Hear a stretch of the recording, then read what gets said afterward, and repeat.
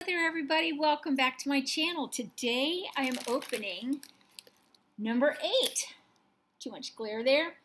And this is the advent calendar from my sister and her husband, uh, Roxanne and Randy. And so today's clue says eight is a Fibonacci number. So I didn't know what a Fibonacci number was, so I had to look it up. And here's what a Fibonacci number is if you don't know. So you start off with 0, and then the next number is 1. 0 plus 1 equals 1. 1 plus 1 equals 2. 2 plus 1 equals 3. 3 plus 2 equals 5. 5 plus 3 equals 8. 8 plus 5 equals 13. So it's taking those last two numbers, adding them together to get the next number. Isn't that cool? I love patterns like that, but I didn't know that one. So there are also little clues that are being sent out.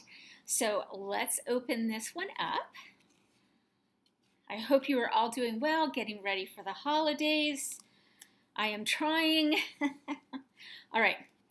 Baker Gerard Kamphuisen opened his bakery in 1840, the oldest known recipe. Okay, all right, let's see what this is. Opening it up.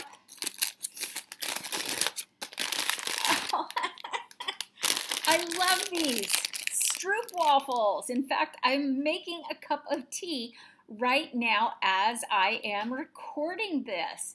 I love stroopwafels. So these are mini stroopwafels, and if you don't know what a stroopwafel is, it's two cookies with a thin layer of caramel in the middle.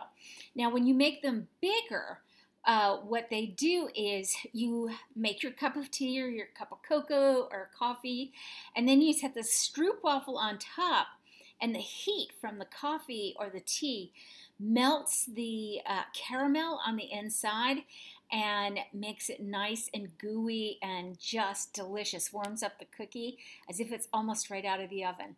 So thank you so much for this. Stroop waffles are one of my most favorite cookies ever. All right. So thank you so much, Roxanne and Randy, and thank you all for coming and watching today. To eight, by the way, is my lucky number, and this was a great gift for number eight. So I'll see you tomorrow with day number nine. Bye for now.